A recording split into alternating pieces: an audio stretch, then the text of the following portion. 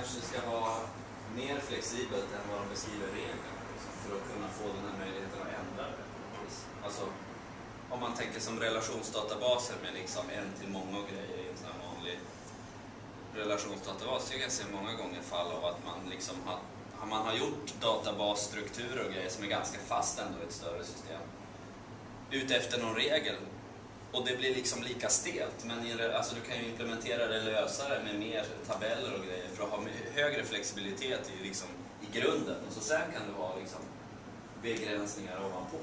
Så, det liksom blir, så förändringen blir så otroligt jobbig när de säger nu, kan, nu, är det, nu är det inte en som har, fy, har liksom många sådana där, nu är det liksom många till många åt olika håll. Och så ska man liksom, så det liksom, ja.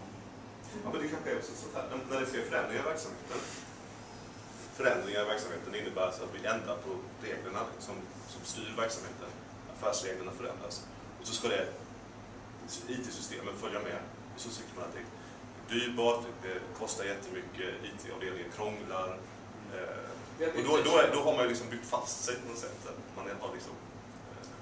Vi vill lägga till adress på kundobjekt. Nej, vi har gjort en SOA-tjänst som delas av fyra system så vi måste prata med alla fem och de har, nej, får se. Kanske sättas i november nästa år.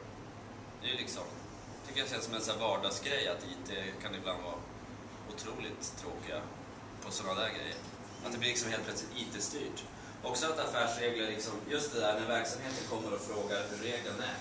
Hur, vad, ursäkta, vad gör systemet som vi just byggde ihop? Det gör så här. Jaha, det är så det funkar. Jaha. Så att det blir liksom en konsekvens av tolkningen blir sen verkligheten. Mm. Det där vi säger när reglerna och så. Jaha, är det så? Ja, så tänker de vidare. Ja, men då gör vi så här då. Så då får det liksom en konsekvens.